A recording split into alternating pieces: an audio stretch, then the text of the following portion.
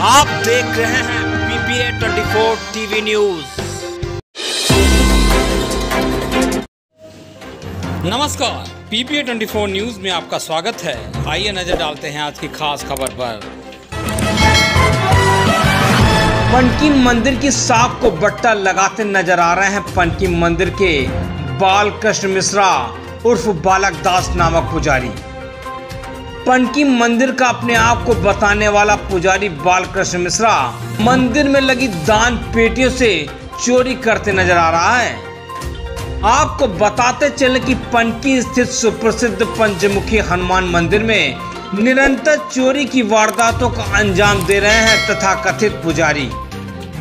मंदिर के गर्भगृह खुलते ही वहाँ पर उपस्थित पुजारी बाल कृष्ण मिश्रा उर्फ़ बालक दास जो कि अपने आप को पनकी मंदिर का तथा कथित महंत बताता है, तथा मंदिर के पट खुलने के नाम पर मंदिर में लगी दान पेटियों से चोरी करते अक्सर नज़र आते हैं।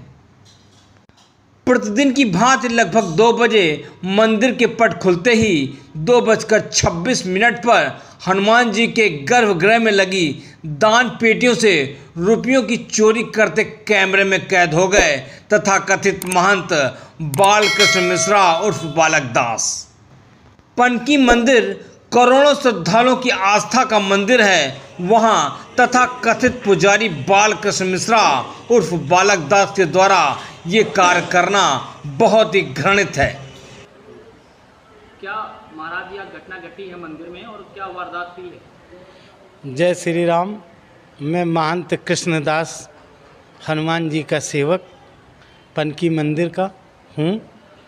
आज मैं मंदिर से संबंधित मुकदमे में मैं कोर्ट में गया था।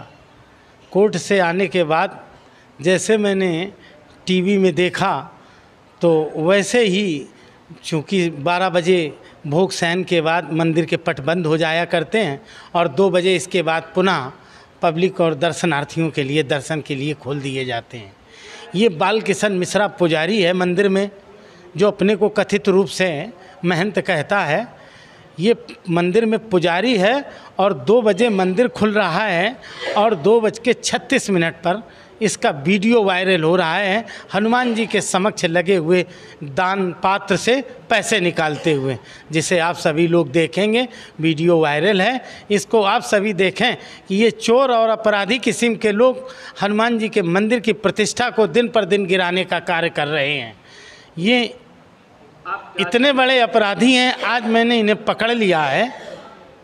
इसके पहले भी ये कई बार ऐसी हरकतें कर चुके हैं लेकिन आज ये पकड़ में आ गए हैं चूँकि ये पकड़ने का काम भी हनुमंत लाल जी के दरबार में हनुमान जी की ही देन है कि आज ये पकड़ के गए हैं। महाराज जी इसकी सूचना आपने किसी को दी? मैंने इसकी सूचना संबंधित थाना प्रभारी को चूँकि हमारा एक लक्ष्य हुआ करता है और एक उद्देश्य है और एक व्यवस्था जो शासन ने निहित की है, जो संबंधित थाना है, उस थाने को मैंने एक तहरीर प्रार्थना पत्र लिख के दिया है। ऐसे अपराधियों को मैं उच्च अधिकारियों से निवेदन करना चाहता हूँ कि इस मंदिर की आस्था के साथ, सद्भावना के साथ, भक्तों की आस्था के साथ जो ये खिलवाड़ का केंद्र बन रहा है, इसमें ये अराजक तत्व चोरी कर रहे हैं। मंदिर से दान पात्र में पब्लिक का पैसा जो व्यवस्था में और मंदिर की शुद्धता और पवित्रता में लगना चाहिए वो पैसा। इन पुजारियों के हाथ से चोरी में जा रहा है। इस पर नियंत्रण करने की कृपा करें। बहुत आभारी रहूँगा और बहुत आभारी रहूँगा। आपके चैनल के माध्यम से जनमानस को ये संदेश देना चाहता हूँ कि ऐसे चोरी अपराधियों को मंदिर से बाहर निकालने का कार्य करें। जय श्री राम।